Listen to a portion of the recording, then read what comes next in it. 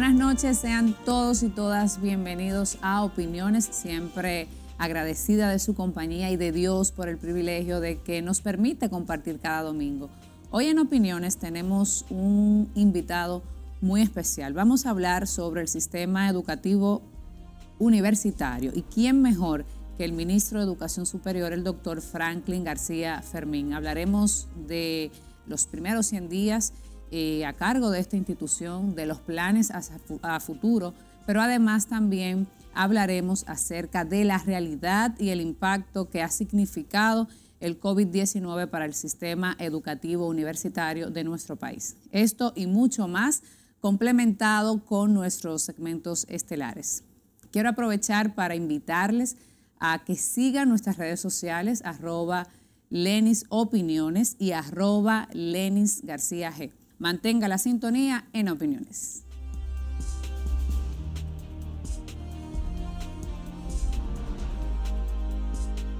Hoy tengo el honor de conversar con Franklin García Fermín, quien es el ministro eh, de Educación Superior, doctor en Derecho, también fue rector de la Universidad Autónoma de Santo Domingo y también eh, estuvo al frente del Colegio de Abogados. De verdad que me honra mucho recibirle. Muchísimas gracias por la receptividad de aceptar nuestra invitación. Bienvenido a Opiniones. Gracias, Lenin. Para mí es un honor.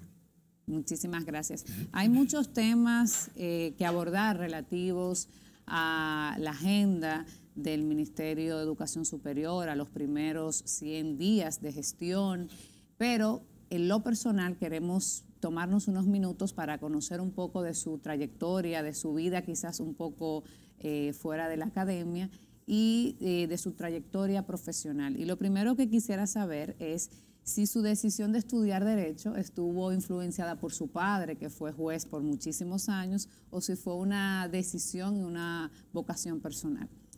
Yo creo que ambas cosas a la vez influyeron en mi determinación de estudiar derecho. Bueno, mi padre, fiscal, juez, eh, toda la vida acompañándole a los tribunales, eh, tanto en Santiago como en otros lugares donde él ejerció. Y eh, finalmente, cuando llegué a la Universidad Autónoma de Santo Domingo, eh, entré en lo que se llamaba, llamó en ese entonces el colegio universitario. Allí, bueno, estaba en una, yo diría, frente a dos caminos, economía o derecho. Pero finalmente la vocación me llamó y también la influencia de mi padre me llamó a estudiar derecho. Usted fue parte eh, del movimiento estudiantil, tiene una larga trayectoria en esta universidad, fue profesor sustituto, miembro también de, la Federación de Estudiantes, como decía, eh, rector, etcétera. ¿Qué nos puede alguna anécdota de sus tiempos como dirigente estudiantil en la UAS? Bueno, en la UAS eh, fue prácticamente una parte fundamental de mi, de mi vida, ¿verdad? Porque llegué allí muy joven eh, a estudiar y después eh, de estar cursando la carrera de Derecho en la Facultad de Ciencias Jurídicas y Políticas, eh, decidí entrar a trabajar y precisamente entré como empleado administrativo de la Universidad Autónoma de Santo Domingo. Allí me formé como abogado y una vez concluí, bueno, pues decidí entrar como ayudante de profesor y posteriormente pasé como a profesor. Y así fui eh, eh, escalando. Y allí conoció también a su esposa, la doctora eh, Rosalía Sosa. Fíjate que sí, porque, pero resulta que después ella se fue al extranjero a estudiar y duramos un tiempo eh, bastante largo sin vernos. Y bueno, y volvió a, nos encontramos y bueno, parece que la magia ahí estaba presente. esa magia se construyó en la UAS, o sea que debe de agradecerle de muchas Entonces, formas. esa puede ser una anécdota, ¿verdad? Que en la UAS, Claro, el amor de su vida. eh, ahí fue donde se formó y se construyó. Qué bien. Doctor, ¿qué le faltó realizar en su gestión como rector de la UAS? Mira, eh, uno, eh, así como puede señalar los logros, también no solamente es una, eh, porque tres años para una gestión no es eh, el tiempo quizás suficiente para uno lograr eh, todos los propósitos que uno tiene cuando llega a una institución tan grande y tan compleja como lo es la UAS. Así que evidentemente hubo muchas cosas inconclusas y otras que no se lograron. Pero puedo decir para mi satisfacción que mi gestión es catalogada como una de las mejores en la UAS. Eh, estabilidad, eh, orden, eh, y logramos hacer cosas importantes para el desarrollo de la investigación en la UAS, para el desarrollo y la estabilidad de la carrera académica, mejorar la vida de los profesores, mejorar la vida de los empleados, de los servidores ad- administrativos. Esas ¿Y las huelgas? ¿No hubo huelgas no durante su tuve- gestión? No tuve ese, por ahí se puede medir, ¿verdad?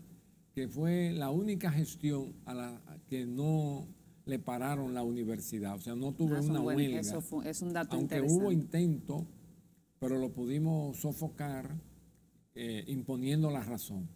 En el Colegio de Abogados, primero yo quisiera escuchar su parecer sobre cómo podemos o podremos transformar nuestro Colegio de Abogados, que lamentablemente eh, los niveles de credibilidad eh, son muy bajos y pasan gestiones y gestiones y no vemos cambios importantes. De hecho, una gran parte de la comunidad jurídica no se siente identificada con su colegio. Sí, es una realidad y es eh, lamentable.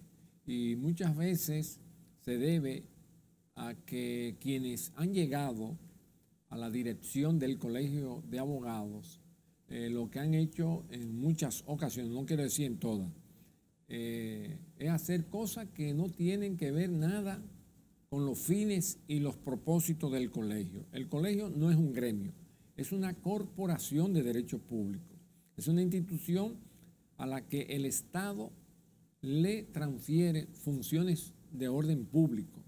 Es decir, cuando hablo de orden público es que son decisiones que le corresponden al Estado, a lo público, no a lo privado.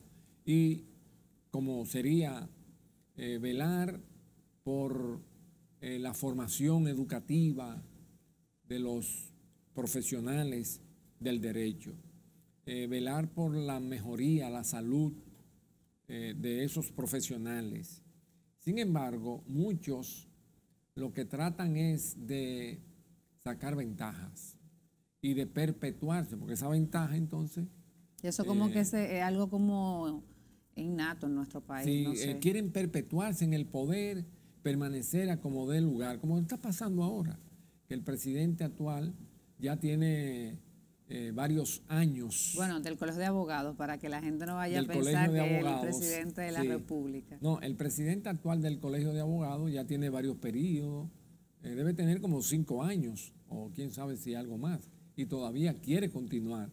Cuando fui presidente, que era por un año, no tenía sueldo el presidente del colegio, ni nadie tenía sueldo eh, en la dirección del colegio de abogados, y a los 10 meses ya de estar, comencé a trabajar para escoger la comisión electoral para hacer la transición de un nuevo presidente y así lo hicimos. Y no, usted Y- no se postuló No, y a por un pesar de- segundo, de- un de- segundo periodo. No, a pesar de que teníamos una amplia popularidad, de que habíamos iniciado eh, la Casa Club de- del Colegio de Abogados y, y otras acciones que fueron de gran beneficio para los abogados. Sin embargo, nosotros no decidimos ¿Y por qué? ¿Usted está en desacuerdo con la reelección? Mira, no está- si está prohibida, sí. que se manipule, que se trate de reformar la constitución o, o los estatutos de una institución para prevalerse de ese derecho, un derecho creado, impuesto muchas veces a la fuerza, pues ahí yo me opondría. Eh, la reelección no es buena, ni nunca ha sido buena, sobre todo cuando el que quiere perpetuarse lo quiere hacer imponiéndose a la fuerza. Pero si la constitución en un caso te lo permite o el reglamento te permite que tú puedas aspirar un periodo más, bueno, pues yo eh, hice uso de ese derecho en la Universidad Autónoma de Santo Domingo, cuando fui decano de la Facultad de Ciencias Jurídicas y Políticas, lo fui dos veces, pero la ley me lo prohibía eh, para un tercer, mandato. Muy bien. ¿Algún líder político que usted admire, preferiblemente que viva, que esté vivo? Que esté vivo, bueno, Luis Abinader. Me siento muy vinculado con su forma humilde, sencilla, que la gente a lo mejor cree que no es así, el que lo trata, él no le gusta esa pomposidad. ahí yo tengo mucha coincidencia, mucha afinidad con él. Muy bien, un libro de cabecera que usted siempre lo lleve y por qué. Mira, un libro en específico no, no lo tengo, aunque hay libros que son paradigmas, ¿verdad? Como la Biblia, por ejemplo, que mucha gente la tiene en la cabecera. Siempre lo leo porque está lleno de sabiduría. El Quijote, por ejemplo, es una obra maravillosa, no solo en términos literarios, sino que cada conversación entre el Quijote y Sancho está lleno de sabiduría, de mensajes, de mensajes positivos y de, toda índole. Usted sabe Esas dos obras sobresalen. Muy bien. Siempre se le ha visto más bien como académico su vinculación a, la Universidad Autónoma, sus dotes como abogado, eh, también como catedrático. Y me surge la inquietud de saber qué le motiva a usted a incursionar en la política. Sí. Bueno, déjame decirte que eso tiene que ver, son varias las razones. Primero, eh, mi familia eh, fue antitrujillista. Y por cierto, un tío mío murió en, las Manaclas, en, la ah, invasión del 14 de junio del 1959. Eh, un tío mío que fue médico tuvo que salir de Santiago y se fue a, a un campo de Nagua y por allá ejerció la medicina huyéndole al régimen. al régimen. Y sobre todo con ese eh, sobrino que, bueno, que murió en la manacla como él fue un antitrujillista, pues todo esto eh, obligó a mi familia a tener que, bueno, que, verse enfrentado al régimen. Y te puedo contar que mi padre, que se graduó de abogado en el año 1946, inmediatamente llegó a Santiago, se le obligó a aceptar un cargo en el, en el gobierno un cargo como eh, fiscalizador. Eh, Pero era una forma de, de, vincular. tener el control. Vincular a la familia. Sí, por ello mi padre es que el, fiscal que levanta el cadáver de las hermanas Mirabal, que ahora el 25 de, noviembre. de, noviembre de este mes se celebró ¿verdad? con grandes Bueno, lo vi a usted en el acto, estuvo por allá con el presidente y los demás funcionarios. Sí. Muy bien. Eh, yo le voy a presentar unas imágenes para que usted nos comente, preferiblemente con una palabra o de manera muy breve, qué significa lo que usted va a ver en estas imágenes. Veamos. Ahí veo el Colegio de Abogados, una institución que debería ser orgullo para todos los abogados y sin embargo no lo es. Veamos la siguiente. ¿Qué impacto ha tenido esta institución en su en mi vida? Un gran impacto, ¿verdad? Como lo conté. Y para mí, la institución que más contribuye con la movilidad social de los dominicanos.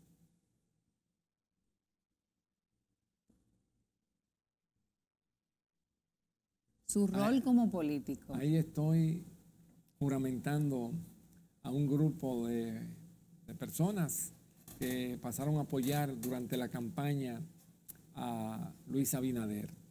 Y ha sido una parte importante de mi vida, la, porque aun cuando he estado vinculado y he sabido eh, diferenciar los roles de académico y de político, para no confundirlo, eh, mi vida, toda mi vida, he estado vinculado a la actividad política. Tenemos otra imagen. Ah, mi hijo más pequeño, eh, Franklin Manuel, que se graduó de abogado en la Universidad Autónoma de Santo Domingo. ¿Qué significa esa foto para usted con toda la historia, lo que usted ha construido y que sus hijos hayan decidido estudiar en esta universidad, teniendo la oportunidad de estudiar en la mejor universidad que quisieran en este país o incluso fuera? Eh, orgullo, porque le dije a él y a los demás que en la vida hay que ser coherente. Si yo trabajé y trabajo en la UAS, y su mamá también, que es maestra allá, y nosotros eh, nos formamos y, fuimos formadores en esa institución y llegamos a la posición más elevada, eh, entonces no es bien que nuestros hijos estudien en una universidad distinta a es el mensaje, es un mensaje muy positivo de que también ustedes creen en lo que se está construyendo allí. Creo que tenemos otra imagen. Ah, mi esposa, Rosalía, parte de mi vida muy importante, porque con ella he construido lo que tengo hoy. muy bien. Necesariamente tiene que influenciar la política, tiene que ser un político para lograr la rectoría de la UAS? No, porque fíjate, hice carrera en la UAS. No llegué así de... claro. Pero se dice, doctor, que la UAS está muy permeada por la política. Eh, hay influencia política, pero tú tienes que ganarte el aprecio con el trabajo, con el sacrificio y yo diría también con la lealtad hacia los profesores y servidores universitarios. Y yo lo construí durante 15 años que fui eh, de la alta dirección de la Universidad Autónoma de Santo Domingo, empezando como vicedecano, decano, vicerrector y después rector. Muy bien. Finalmente, en este renglón que tenemos que hacer nuestra primera pausa, ¿tiene aspiraciones Franklin García Fermín para el 2024?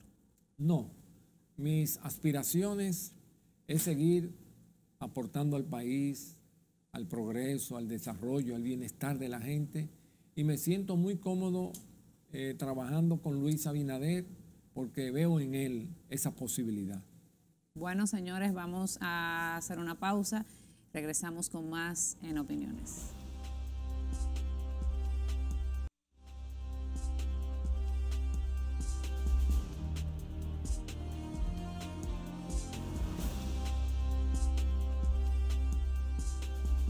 Bueno, y luego de eh, esta pausa continuamos esta interesante conversación con nuestro ministro de Educación Superior. Vamos a hablar ahora eh, de qué se está haciendo, eh, cuáles son sus ejes fundamentales de la gestión que recientemente inicia y me gustaría saber cuáles han sido las principales decisiones en estos 100 días, primeros 100 días de, de, su gestión al frente del Ministerio de Educación Superior en un momento tan retador para el sistema educativo?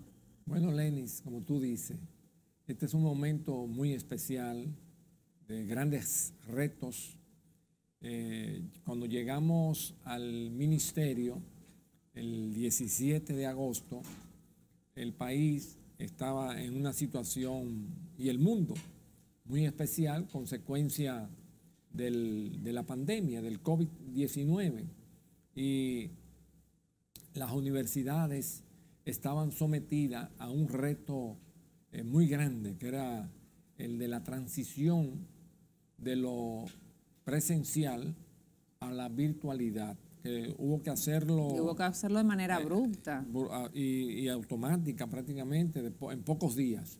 Y sin embargo, hay que reconocer que las universidades eh, cumplieron con ese reto y terminaron el curso y se inició el nuevo curso. Claro, una deserción muy fuerte hubo que ronda entre un 35, rondaba un 35 y un 40%. Pero ¿En todas las universidades o hablamos puntualmente de la UAS? Todas las universidades, pero claro, no a todas las afectó en, la misma, dimensión, ¿verdad?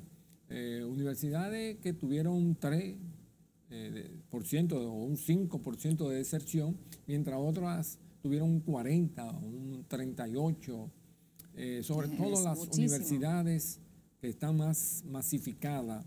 Y de ahí que el presidente, para ver cómo impactaba, dispuso varias medidas. Primero, 234 puntos millones a la Universidad Autónoma de Santo Domingo, más 30 millones que se le ha dado para cubrir las secciones que se hubo que crear nuevas.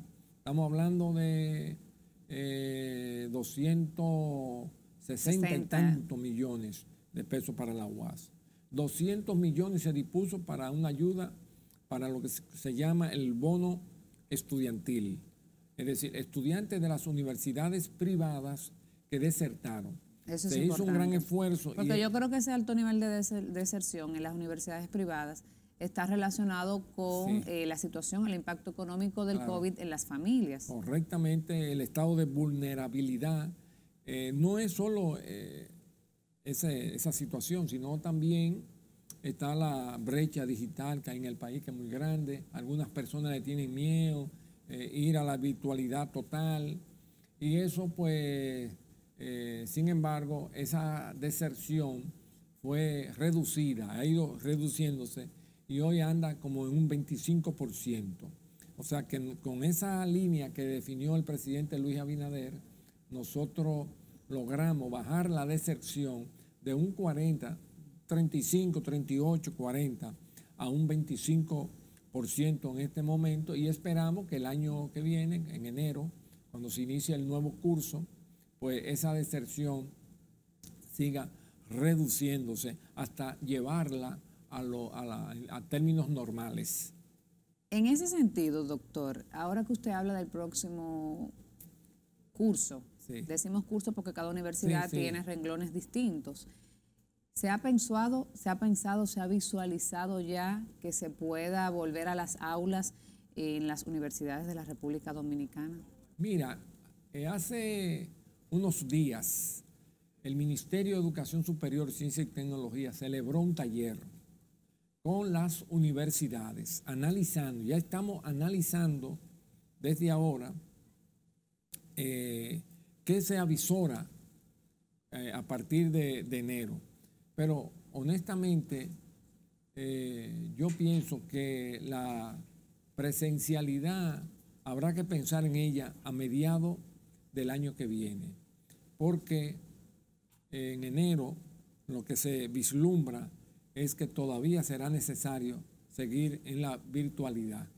Eh, pero vamos a estar monitoreando si la vacuna llega finalmente, como se espera, que para el mes de, marzo. de marzo ya esté en el país y en el mundo, pues evidentemente que el impacto va a comenzar a tener eh, el impacto de la vacuna va a tener efectos muy fuertes, muy positivos y eh, probablemente podamos ir regresando escalonadamente a la virtualidad. Muy bien. Eh, Aunque, perdóname, Lani, sin embargo, yo creo que ya la virtualidad se va a quedar porque tiene sus ventajas y nos hemos dado cuenta la ventaja que tiene la educación a distancia. Bueno, hay universidades como la Universidad APEC, donde tengo el honor de ser docente, que desde hace mucho tiempo ya teníamos materias y programas totalmente virtuales. Correcto. No toda una carrera, sino materias puntuales. virtuales. Que, y muchas eh, universidades lo venían haciendo. Pero, déjame pero con un sistema básicamente simétrico. Ahora el asimétrico Sí. me entiendo que es el que da mejor resultado porque es lo más parecido al, al aula, pero Sí. todavía eh, hay que seguir aprendiendo, Hay que seguir, hay que seguir seguir. mejorando porque ciertamente la virtualidad tiene sus desventajas desde el Sí, punto de vista de la calidad Correcto. incluso de la educación. Sí. Hablando de calidad de la educación, doctor, la mayoría de los rankings eh, colocan a nuestro país en un situal eh, no muy positivo con relación a la calidad de la educación universitaria de nuestro país. ¿Qué se está haciendo para mejorar la calidad de la educación superior en la República Dominicana? Mira, eh, República Dominicana ha avanzado, hay que reconocerlo, en lo que respecta a su educación eh, superior. Ha avanzado bastante. Y sobre todo a partir de la creación de la ley eh, que crea el Ministerio de Educación Superior, Ciencia y Tecnología en el año 2001, eh, y ya se venía trabajando en controles y en auditorías de esas universidades, exigencias que, que tienen que cumplir desde a- mucho antes del año 2001, cuan- con el- lo que se llamó el Consejo Nacional de Educación Superior, el CONES. El, el ministerio eh, somete a las universidades a un conjunto de exigencias y de evaluación y autoevaluación, eh, requisitos que las universidades deben cumplir. Ahora mismo, a final de este año, un grupo de universidades tenía que someterse a esa evaluación para irla acreditando. Sin embargo, dada la pandemia, nos vimos, y siendo comprensible, nos vimos en la necesidad de tomar la decisión de posponer la entrega, los resultados de las universidades a ese proceso quinquenal que se hace cada cinco años y lo pospusimos para mediado del año que viene, del 2021. Y así sucesivamente a las universidades que tenían los compromisos de entregar sus resultados a mediados del año que viene, entonces los proponemos en la misma proporción. Y eso, pues, evidentemente que ha logrado que las universidades eh, exijan a los profesores ya que tienen que tener titulación de maestría o doctorado. Tienen que esas universidades, para poner solo algunos ejemplos, eh, bibliotecas eh, Presenciales y virtuales. virtuales. Ahora mismo nosotros, el ministerio acaba de contratar una compañía eh, extranjera, una empresa dedicada a la biblioteca virtual para todas las universidades del país van a estar conectadas, eh, pag- pag- pagado por el Ministerio de Educación Superior, Ciencia y Tecnología Y los estudiantes van a tener acceso también a esta universidad. a millones de revistas eh, especializadas, eh, perio- eh, per- eh, todo tipo de información, libros, investigaciones, en varios idiomas. Muy tanto bien. en el español, francés, portugués, inglés, es decir, en, en varios idiomas. Hasta, Lenny, que es muy importante, hasta eh, las universidades hoy tienen que tener eh, lugares, espacios de esparcimientos. O sea que, que antes probablemente no tenían ni una cafetería, ni asientos adecuados para que los estudiantes puedan descansar en las horas libres, eh, interactuar, tener un lugar de esparcimiento. Hoy el Ministerio de Educación Superior tiene como una de sus exigencias eh, que se den esas condiciones. O sea que son muchas las condiciones que hoy una universidad tiene que eh, tener y que la, el ministerio, el MESI, permanentemente está supervisando y controlando. Sabe que mis compañeros docentes no me perdonarían que yo no le haga esta pregunta. Y es si se está contemplando algún plan, algún programa para mejorar también las condiciones de los maestros. Sí. Eh, se exige mucho, es cierto, Sí. nivel de maestría. Eh, ahora mismo la virtualidad demanda muchísimo más. Por Sí, ejemplo, los sí. profesores, eh, el internet, el consumo de energía eléctrica, etcétera, lo estamos consumiendo nosotros Sí. desde nuestros hogares y oficinas. ¿Qué se contempla para mejorar la calidad eh, de los beneficios que recibimos los profesores universitarios? Sí, mira, primero, siempre el MESI eh, apoya todos aquellos programas, acciones que se lleven desde las universidades para contribuir a la formación y preparación de su personal docente. Por ejemplo, ahora mismo vamos a iniciar un doctorado en, la en una PEP, en la universidad que tú trabajas. Para Mi alma mata, el doctor también. Ahí eh, vamos a iniciar en alianza con la Universidad de Jerusalén y la Universidad de Zaragoza en España y otra que está en el Canadá con una un doctorado, porque estoy promoviendo los programas doctorales como una manera de promover la calidad. La calidad, el desarrollo y también eh, una masa crítica en el país. Y así lo estamos haciendo con la UNFU, con la UAS, para apoyar a los maestros de esas universidades para que cursen al más alto nivel programas gratuitamente, cubiertos por el Ministerio de Educación Superior, Ciencia y Tecnología. Ahora, ¿qué sería importante? Que se establezca la carrera académica, no la UAS que lo, que, lo tiene, ¿verdad? Porque la UAS, ¿qué bueno tiene? Bueno, que el que trabaja en la UAS va a tener su jubilación asegurada, tiene seguro médico, tiene una serie de beneficios. Que no tienen los, profesores de las universidades privadas. Entonces, ¿qué es lo que hay que hacer? Crear la carrera nacional de profesor universitario, o sea, de, educación superior, una carrera nacional. Así como eh, tú eh, eh, eres profesor de una PET, si mañana te tienen que ir a Santiago, por ejemplo, bueno, pues tú puedes, siguiendo la misma carrera, entrar a la Pucamaima, por ejemplo, o a la UAS, porque es una carrera nacional, como está en España. ¿Y está ya, tiene, se tiene alguna fecha, hay, algún, hay alguna eh, propuesta ya avanzada? Porque también, eh, por ejemplo, en el, en el entorno docente, eh, hay una diferencia importante en los beneficios económicos que reciben, por ejemplo, los profesores de la UAS en contraposición con los maestros del sector, privado. Y a veces y en la mayoría de los casos los profesores lo hacemos por un tema de vocación. Sin embargo, hay otros profesores que se dedican a esto y lamentablemente no reciben una compensación acorde con sus conocimientos, su preparación y el esfuerzo que eh, significa la docencia.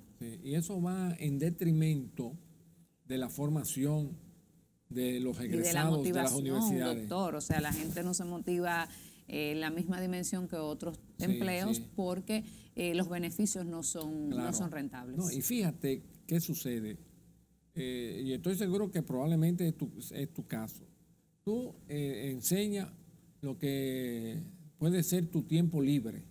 Tú a lo mejor trabajas o ejerces tu profesión en tu oficina, que es una profesión liberal la que tú tienes, y en la tarde probablemente tú vas a la universidad y, y, y enseñas dos tres materia. Pero no existe lo que se llama la dedicación exclusiva. O sea, tener maestros de alto nivel, investigadores, que estén dedicados a eso eh, de manera exclusiva, de manera completa, de contratación completa. Y entonces la mayoría de nuestros profesores, la inmensa mayoría, son profesores de, de tiempo libre, que eso no es conveniente. Pudieran haber, pero debería ser la excepción. La mayoría de, los profesores, si estuvieran bien pagados, como, como corresponde, y lo es en toda parte del mundo, en España, para ponerte un ejemplo. Estados Unidos. Estados Unidos, ¿verdad? Eh, ese profesor está dedicado a la enseñanza universitaria y a la investigación. Y está dedicado a eso y como le pagan bien, le cubren todas sus necesidades que le permiten vivir con dignidad, no tiene por qué dedicarse a otra cosa complementaria. Y eso es lo que hay que buscar en la República Dominicana. Ese sería un gran aporte de su gestión. ¿Que se, ha, avanzado con las universidades o es solamente uno de hay los una proyectos? Idea, es una idea y un proyecto que hay que construirlo. No va a ser fácil eh, hacerlo en este país. No va a ser cuestión de un año, dos años, tres años. Probablemente eso haya que construirlo en un largo eh, tiempo, pero eh, es parte de la exigencia. y necesitaría también, supongo, que el aporte del sector público. Sí. ¿Cuáles serían, eh, doctor, los principales ejes en lo que usted visualiza su gestión de cara a estos tres años y tantos meses que quedan? Desarrollar lo que se llama la investigación a través de los fondos SIP que tiene el Ministerio de Educación Superior. Tiene lo que se llaman fondos concursables. Las universidades presentan proyectos de investigación y entonces el MESI lo aprueba según las necesidades del país. Según la Estrategia Nacional de Desarrollo. Necesitamos este proyecto y todas las universidades participan y presentan eh, proyectos de investigación que están desarrollando. la, MESI lo eh, financia total y esos, esos proyectos dan resultados extraordinarios en, el camino de ir construyendo una masa crítica. Y al, y al mismo tiempo, nosotros estamos desarrollando y promoviendo lo que llaman programas doctorales. Ya casi eh, todas las universidades están trabajando en proyectos de programas doctorales para eh, desarrollar también una masa de investigadores a través de los programas doctorales, porque recuérdate que cada tesis doctoral es un, es un proyecto, de, investigación. Correcto. Bueno, doctor, tenemos que hacer una pausa. Regresamos en breve con esta interesantísima conversación con el doctor Franklin García Fermín. Bienvenidos a los cinco o más. Esta semana presentamos cinco países que reabrieron los centros educativos escuelas, colegios y universidades a pesar de la pandemia. En el puesto número 5, Noruega. El gobierno noruego presentó un plan para reabrir de forma progresiva la mayor parte de la vida pública enfocado en las escuelas y universidades. Esto en tres fases a mediados del mes de junio, enfocados en el protocolo, distanciamiento y pocos alumnos. En el puesto número 4, Dinamarca. El 15 de abril Dinamarca comenzó el proceso de regreso a las clases. Con ello, este se convierte en uno de los primeros países en Europa en volver a las aulas. Dentro de las claves del éxito se destacan las clases de 10 a 12 alumnos asignados a un mismo profesor y las entradas escalonadas. En el puesto número 3, Israel. Mucho se ha aprendido de la reapertura de la escuela en Israel, debido a que el gobierno invitó a todo el cuerpo estudiantil a regresar a las aulas a finales de mayo. En cuestión de días, se reportaron infecciones en un bachillerato de Jerusalén que rápidamente se acumuló hasta un rebrote más grande. Esto así, siendo actualmente el mayor brote en Israel. En el segundo lugar, el Reino Unido. Pese a una segunda ola en Europa, el Reino Unido lucha para mantener los centros educativos abiertos desde que reabrieron los colegios en septiembre.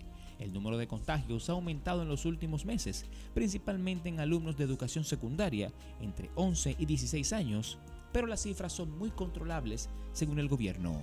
Actualmente, un 87% de los alumnos asiste a las clases regularmente. Y en el primer lugar, Cuba uno de los más recientes casos de educación presencial, quienes desde el 2 de noviembre reabrieron para más de 1.209 escuelas públicas en La Habana para recibir 314.000 alumnos, como parte del llamado Nueva Normalidad. El país cubano espera poder dar con la fórmula correcta para las clases presenciales, copiando el método ejecutado en Dinamarca y otros países europeos. Hasta aquí los cinco o más.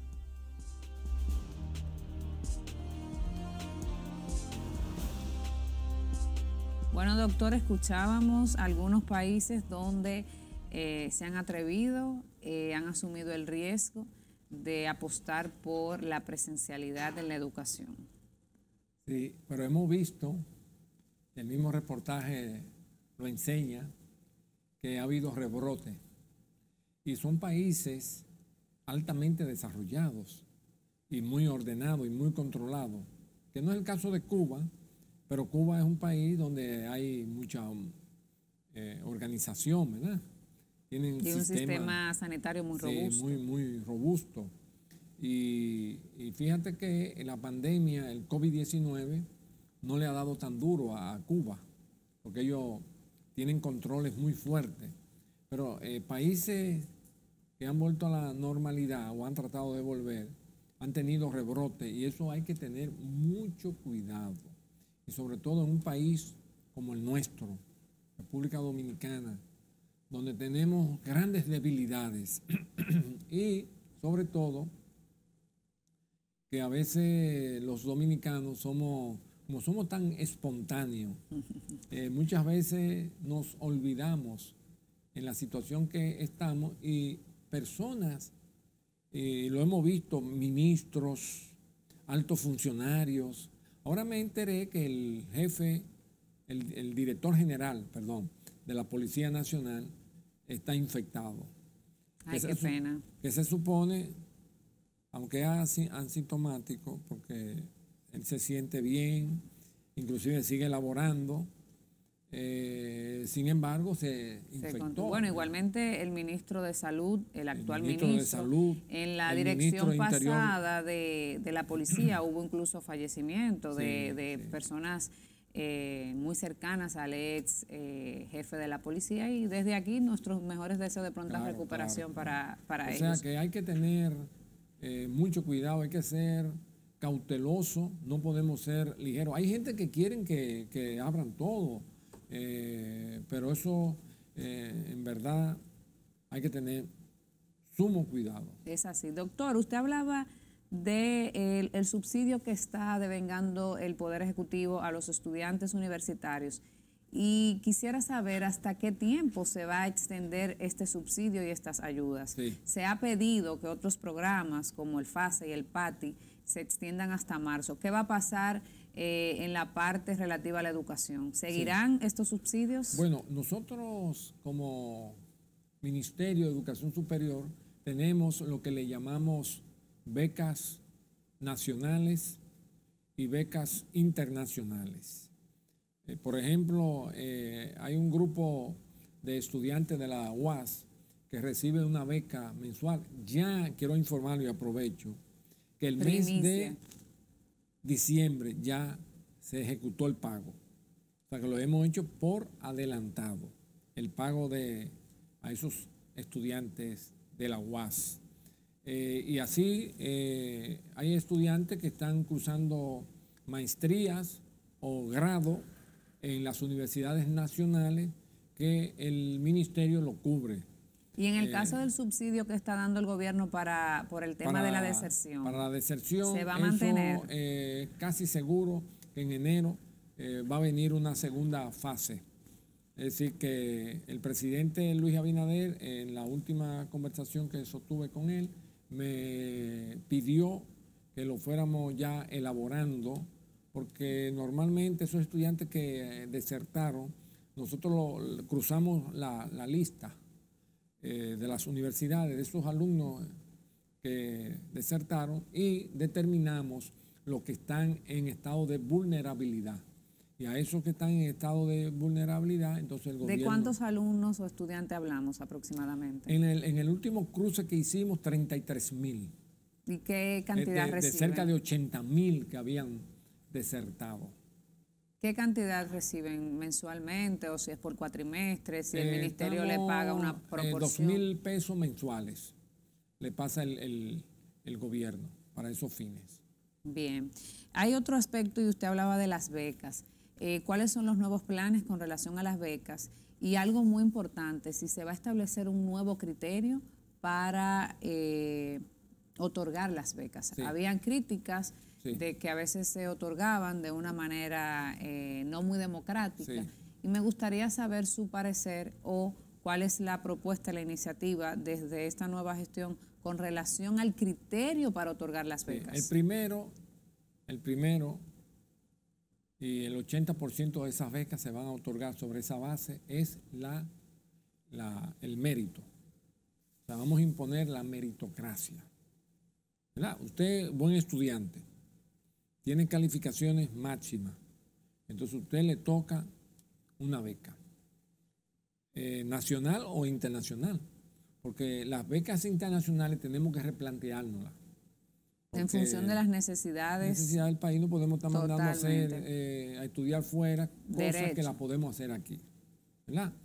Ahora, hay carreras, hay especializaciones eh, que aquí no la podemos hacer.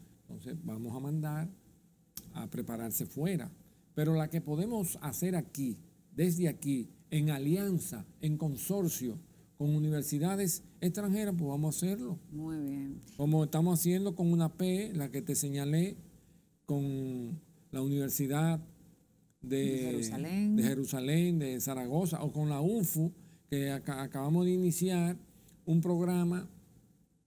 Eh, vamos a iniciar con la Universidad de, eh, una universidad mexicana eh, muy reconocida, o la Universidad Autónoma de Santo Domingo, que va a iniciar un doctorado, para solo esto señalar algunos casos, con la Universidad de Nova de los Estados Unidos, del estado de la Florida, que es una de las universidades en educación de mayor prestigio de los Estados Unidos. Y estas universidades, eh, perdón, estas becas, eh, las que son nacionales y de licenciatura, se ha establecido un criterio de que se otorguen en base a la necesidad del mercado laboral dominicano. Eso es importante porque hay, hay carreras que están eh, sobrepobladas. Tenemos que motivar a los estudiantes a ir a formación, a carreras que son importantes para el desarrollo del país. Te voy a poner un ejemplo. Ahora mismo hay una escasez de profesionales del área de la farmacia. Hay farmacias que no pueden abrir porque no tienen un farmacéutico o una farmacéutica. Entonces vamos a formar eh, técnico superior en farmacia, por ejemplo. Cuestión de que se puedan abrir en el país todas las farmacias que sean necesarias y que eh, también el Estado a través de promesas y otras instituciones que tienen que cumplir con esos requisitos. Porque usted no puede poner a vender eh, eh, atender un medicamento a, una persona que no sepa, ¿verdad? Totalmente.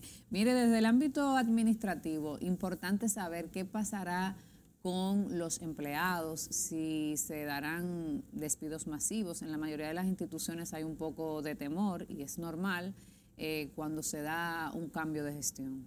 Sí, bueno, en el Ministerio de Educación Superior, eso nosotros lo hemos hecho con bastante cuidado. Eh, en primer lugar, porque no hay que llegar al, ministerio o al lugar, ¿verdad? Como si estuviera llegando una tropelía, ¿verdad? Sino que lo hemos hecho con mucho cuidado, mucho tacto, respetando la carrera eh, administrativa. administrativa.